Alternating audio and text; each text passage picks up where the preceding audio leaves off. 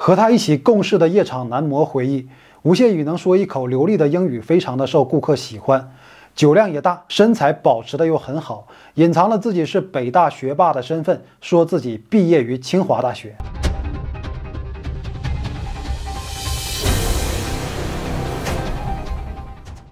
大家好，欢迎来到英吉档案，我是英吉。今天这个案件可以说是非常的轰动，也引起了强烈的讨论。集各种优秀标签和美好词汇于一身的北大高材生残忍弑母，逃亡期间竟在夜场做男模为生。二零一六年二月十四日，刚过完春节的第一周，福州警方接到一通报警电话，寻求协助。一男子称自己的姐姐与外甥失联，于是警方与报案人一同到静安区某中学教职工宿舍一户的主卧，发现了报案人姐姐谢某的尸体，死者被塑料薄膜包裹十多层。并在每一层都放入了活性炭消除尸臭，死亡时间大概为半年前。更让警察诧异的是，房间里还装有远程监控摄像头，正对着尸体的位置。也就是说，此时此刻家里发生的一切已经被安装摄像头的人发现。死者生前是福州某中学的历史老师。警方综合了所有的线索，认为死者二十二岁不知去向的儿子。吴谢宇有重大作案嫌疑，此案也被视为重大案件，吴谢宇也被列为重刑犯，发布悬赏，并在网上追逃。可是，随着对案件的深入调查，越让人觉得难以理解。首先是弑母本身的残忍性。其次是嫌疑人与我们认知中的杀人凶手似乎有些不同，也正是因为他在生活中表现出的完美，才让这起案件显得非常离奇。案发之前，他在外人看来非常的优秀，是人们口中常说的别人家的孩子，甚至有人说宁可相信是自己杀人，也不相信他能干出这种事儿。可背后到底经历了什么？弑母的动机又是什么？我们看看他身上的标签：学霸、天才、大神。北大高材生，弑母恶魔，他就是吴谢宇。吴谢宇生于一九九四年十月七日，一九九六年随父母工作调动到福州生活。在朋友和同学的印象中，他是一个积极规划人生并且聪明的学霸，考试拿第一名的成绩也是司空见惯。二零零六年，他进入福州某中学，这里也是他作为历史老师的母亲谢某任教的地方。初中的三年学习成绩名列前茅。二零零九年，以全校第一的身份升入省重点高中。在高中同学的印象中，吴谢宇是一个有理想、有规划的人，自觉自律。他经常在考试中拿到年组第一的成绩，甚至凭借优异的成绩拿到奖学金，因此人送外号“雨神”。吴谢宇的好成绩也为他敲开了北大的大门。二零一二年，吴谢宇未经过高考，通过北京大学自主招生被提前录取，成绩名列全国前几名，进入北京大学经济学院。大学后，吴谢宇依然表现得非常优秀。大一时获得北京大学三好学生的荣誉称号，大二获得北京大学廖凯原奖学金，在校外英语的培训机构学习 GRE，成绩排名全球前百分之五。他在各类学习和考试中都表现出了超强的实力。面对这种大神级别的学霸，难免有些人会认为他是一个书呆子，并非如此。根据身边的同学朋友回忆，他是一个开朗、热情且自律的男孩，与人相遇会主动打招呼问候，非常的热情，还经常会帮助他人。他喜欢坐在教室的第一排，课上踊跃发言，也常和老师同学交流，条理特别清晰，有很强的逻辑性，做事非常严谨，从没有和别人闹过矛盾。身高一米八的他，非常喜欢运动。经常和同学一起打篮球，寝室里也放着一对哑铃用于健身。可以说，他的时间被学习、运动、班级活动安排得很充实。总而言之，所有人对他的评价就是优秀、开朗且自律。竟然没有人能说出他的一个缺点。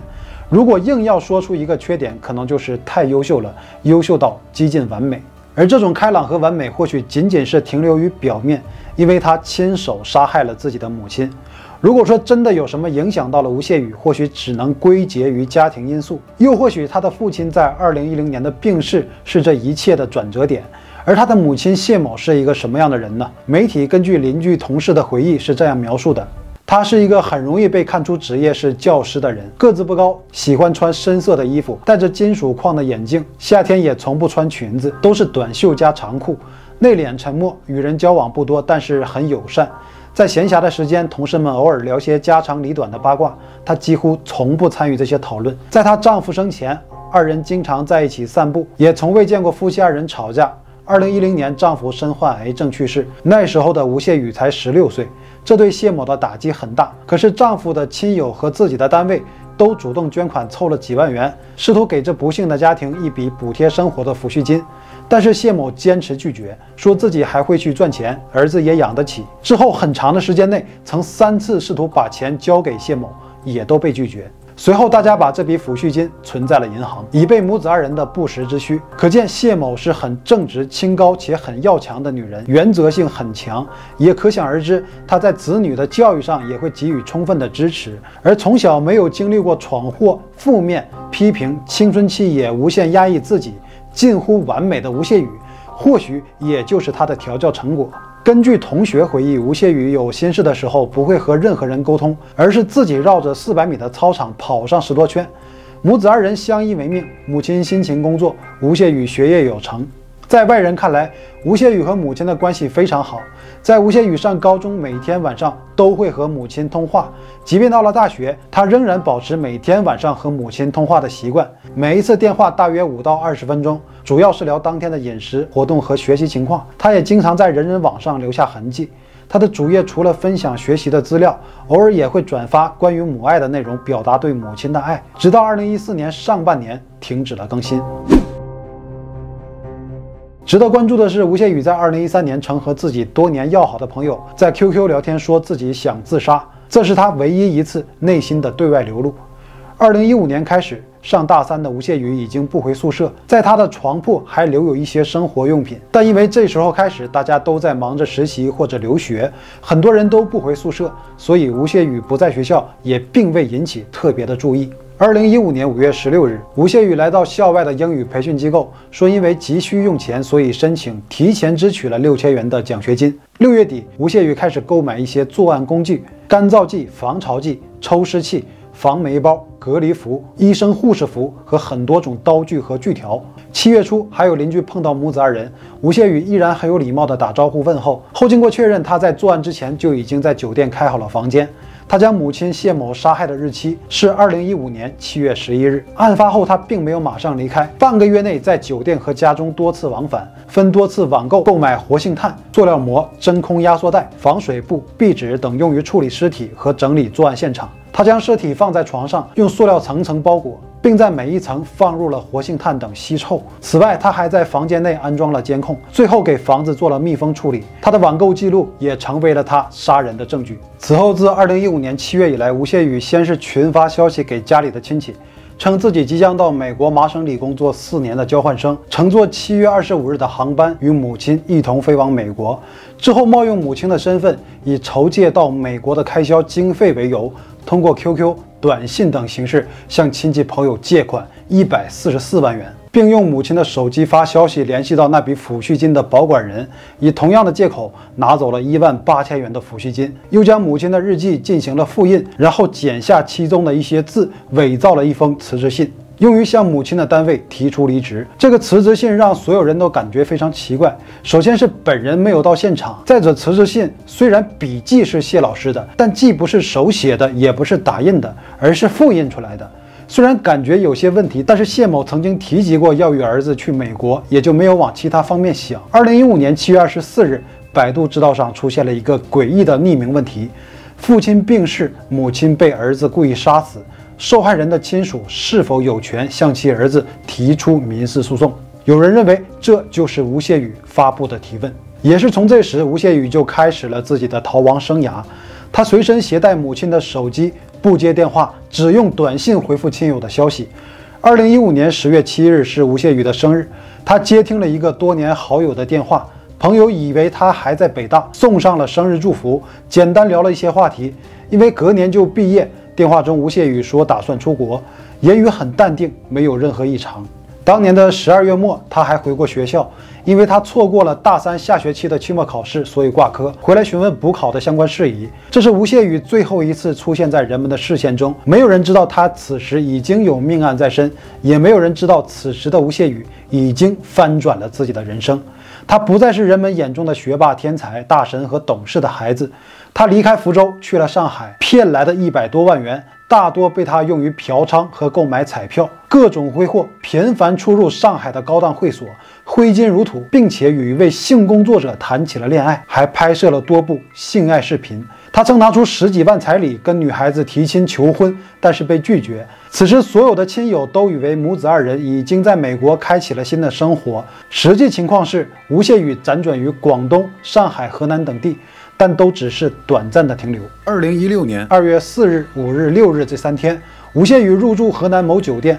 二月四日，他在河南某取款机上取过钱。第二天，二月五日，给舅舅发了一条短信，他说与母亲从美国回来过年，六号到莆田，希望舅舅来接他们。可想而知，舅舅并没有接到母子二人。他给吴谢宇发信息没有回复，打电话不通，直到过了春节，甚至到家敲门也没有人应答。越想越不对劲，心想该不会是母子二人出了什么意外？于是，二零一六年二月十四日报警。随后，警方破门而入，在屋内发现了谢某的尸体。警方从现场的指纹、DNA、网购交易记录等一系列证据指向，认定嫌犯就是吴谢宇。在案发现场，警方找到了多把切割尸体专用的刀具。初步尸检表明，吴谢宇在对母亲行凶后，曾经试图分尸未果。警方短时间调查后，发布了对吴谢宇的通缉令。吴谢宇的最后一站是在重庆，一百多万元在他的长期挥霍之下，很快就所剩不多。为了维持生计，就开始找起了工作，也开始了自己的双面人生。他办理了多张假身份证，白天在某教育机构教学，晚上则在酒吧夜场做男模。他的这两份工作对身份的信息查验并不严格，个人条件符合要求的情况下，只需要用身份证做一个登记就能入职。普通人不仔细查看，很难辨出身份证的真伪。他在夜场曾化名张维进，之后又化名周龙，人们一直都叫他小龙。身份证信息写着来自湖南省，但是口音又不太像。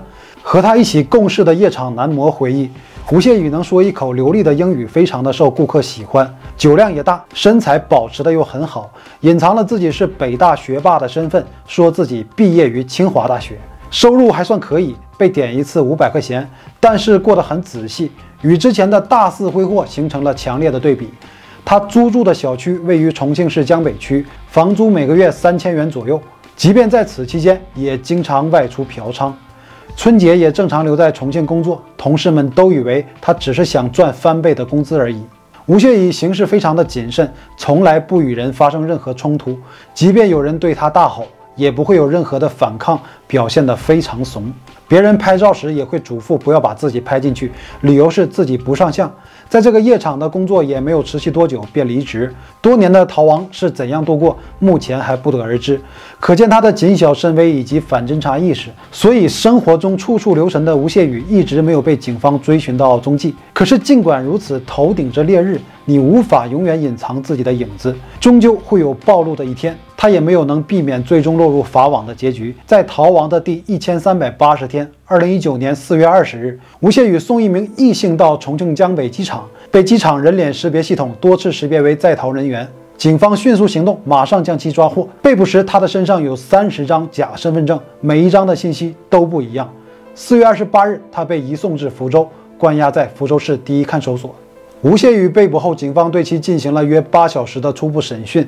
他对杀害其母亲谢某的行为供认不讳，但对于杀人的动机、犯案的经过以及犯案后自身的情况等案件核心问题，基本上不做正面回答。他到底经历了什么，才让他有了弑母的动机？又采取了怎样的方式将其杀害？目前都不明确。但是后来有些媒体自称与警方内部办案人员取得了联系。称吴谢宇在狱中写过一份自述，这份自述的内容包含了他的作案动机和手法，但是这个消息的真伪无法考证，但这也最接近于大多数人的猜测。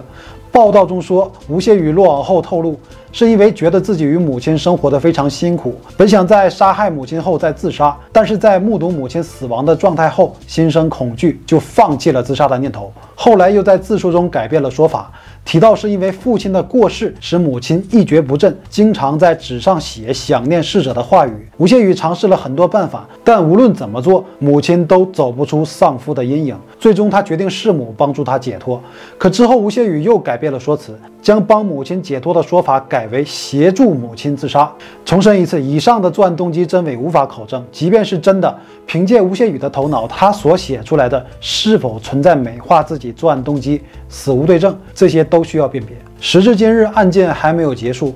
吴谢宇的家人为其委托了辩护律师，但是他拒绝了与该律师见面，并指定了法律援助所委派的律师。除了办案的相关人员，没有任何人与其相见。但是吴谢宇的家人似乎并没有放弃他，他的舅舅等亲友已经签署了对其的谅解书。从家人的所有举动来看，他们应该都希望吴谢宇还能活着。或许家人有自己的考量和权衡，而真正能定性吴谢宇的结果，还需要以事实的真相为依据。即便有人能够原谅，但是罪证无法抹平。他涉嫌买卖身份证件罪、诈骗罪、故意杀人罪等多项罪名。除了家属的意见，还有大众的关注。人们对于善恶是非的认知也非常的重要，所以最终能决定吴谢宇罪行的，依然要以作案的动机、案情真相为依据。他终究会受到应有的审判，无论怎样的结果，他都会为自己的罪行而付出对应的代价。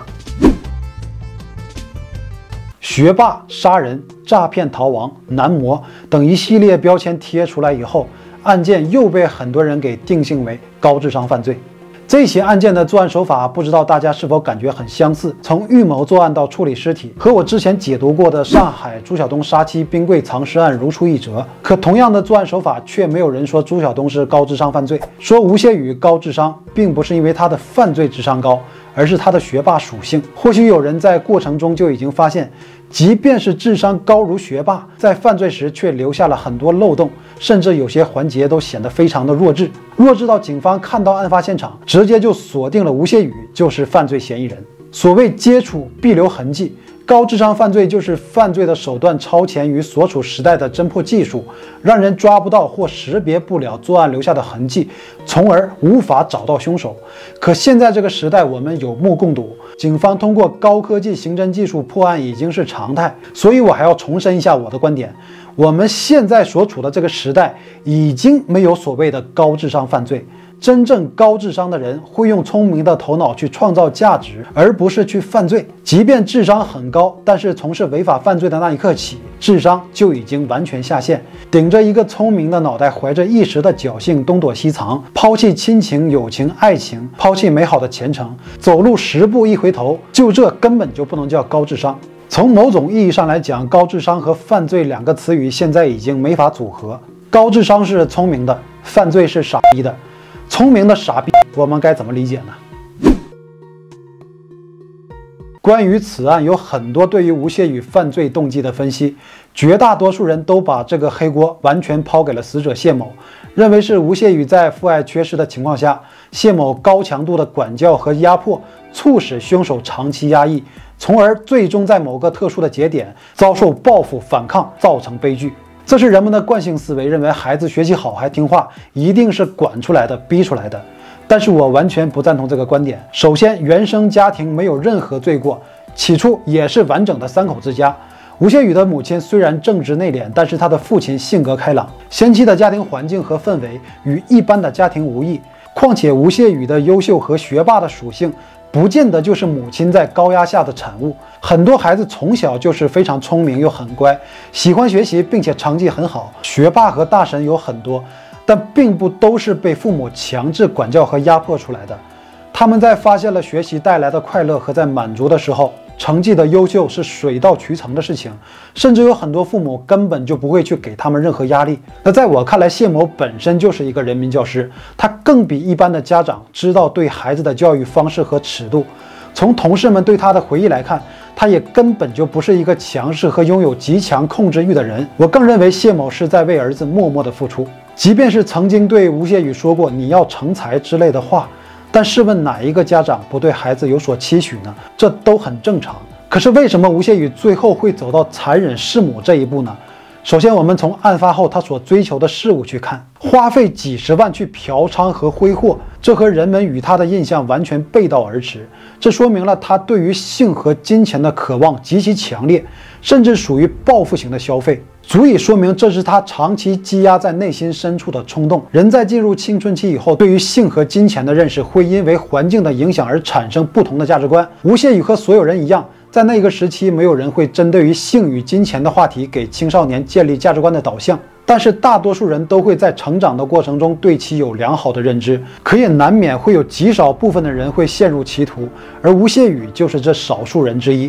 他因此染上了不好的习惯，并且成瘾，曾一度到百度戒色吧发帖寻求帮助，可是收效甚微。但他是学霸，是人们公认的好孩子，其他男生可以随口说荤段子，而他在现实中对于此话题只字不提，甚至刻意回避，只是为了维护自己伪光正的人设。长久的自我矛盾让他的性瘾和欲望不断加剧。永远不要低估一个人表面道貌岸然的能力。所以压抑了他真性情的不是母亲的管教，而是他自己的人设，也就是自己的面子。在优秀的表象背后，其实是人格的不健全。长久以来，一直是内心真实的自己和表面的优秀人设做着抗争，难以释放。而之所以努力维持人设，就是因为不想让身边的人看见真实的自己。换句话说，就是身边最亲近的人才导致自己压抑的如此难受。潜移默化中，这个最亲近的人就和阻碍自己的人设画了等号。只有打破这个局势，才能让自己彻底释放。所以，我认为吴谢宇和上海杀妻的朱晓东是处在不同年龄段的同一类人，共同点是爱慕自己的表面虚荣，隐藏自己内心对于性和金钱的极度渴望。被害的死者对他们来说。都没有任何实质性的威胁，而且都是付出型人格。朱晓东在庭审现场说自己没有作案动机，这显然是在说谎。从两个案件的凶手作案之后彻底解脱、疯狂的纵欲和挥霍金钱上来看，他们的作案动机都是为了铲除阻碍，让真实又龌龊的自己不被这双最在乎的眼睛看到，保留自己认为仅剩的尊严，而并不是大部分人所说的是出于报复和反抗。被害人是自己的至亲，他们也都知道自己难逃一死，内心的负罪感让这类人起初的打算大多都是挥霍完之后自杀自我了断。可悲的是，这种龌龊的人性导致他们根本就没有去死的勇气，所以在用最短的时间尽量的挥霍完之后，就变成了混一天算一天。以上就是我个人对吴谢宇的犯罪心理分析。案件的资料是取材于互联网，或许与真实有所出入，难免会有偏差和不符。